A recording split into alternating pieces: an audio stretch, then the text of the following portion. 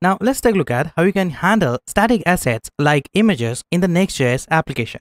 Next.js can serve static assets like images under the top level public folder. Files inside this public folder can be referenced from the root of the application, similar to these pages.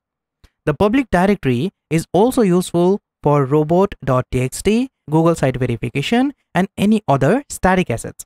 Let's create a new folder inside this public. Let me create a new folder here and name that folder images. You can specify any name to this folder and then I'm going to put image inside it. I'm going to locally copy and paste an image inside this folder. So I'm simply going to copy and paste one image inside this images folder. Here you can notice I'm going to copy and paste the Next.js logo here inside this application. Now with regular HTML, to use this image, you will add img tag with source and alt attribute. To the source, you specify the image path. This ensures that your image is responsive on different screen sizes. If you want to optimize your image, then you have to use the third-party tool or the library. And if you want to load the image only for the specific viewport, then you have to do some extra work. Next.js provide an image component out of the box to, to handle this for you. Next.js image component is an extension of this HTML image.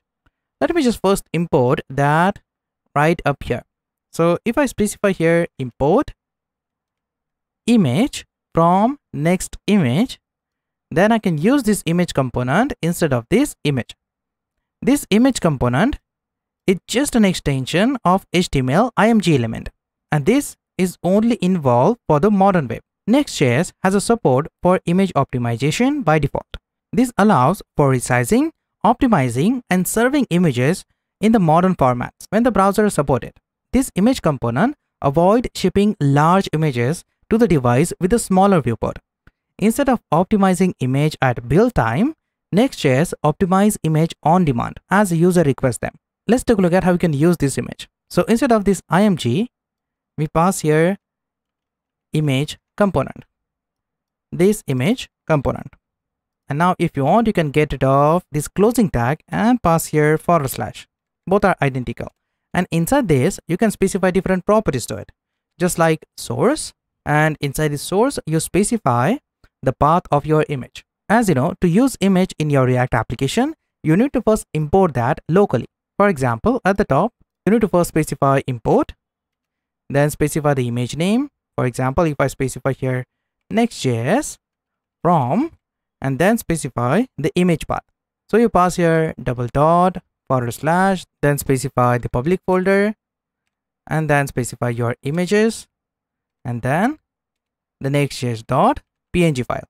And then you use this Next.js inside this source. Let me get rid of this script tag. Let me save this.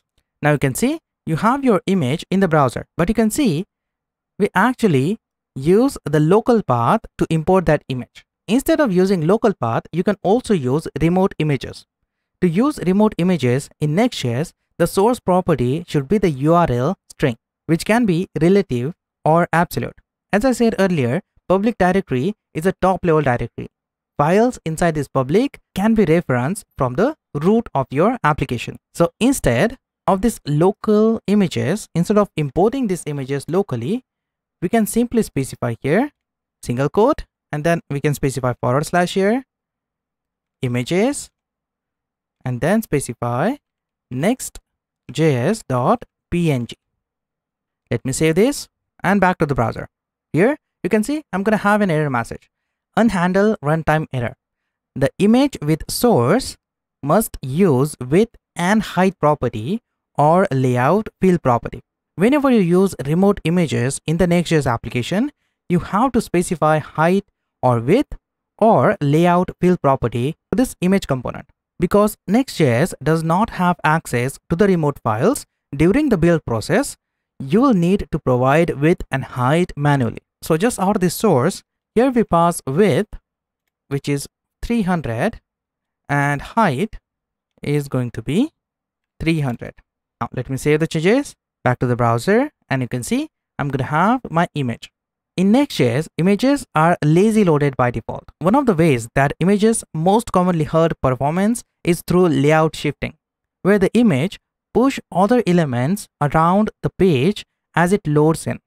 This performance problem is so annoying to the users that it has its own core web vital called cumulative layout shift. The way to avoid image-based layout shift is to always size your image. This allows the browser to reserve precisely enough space for the images before it loads.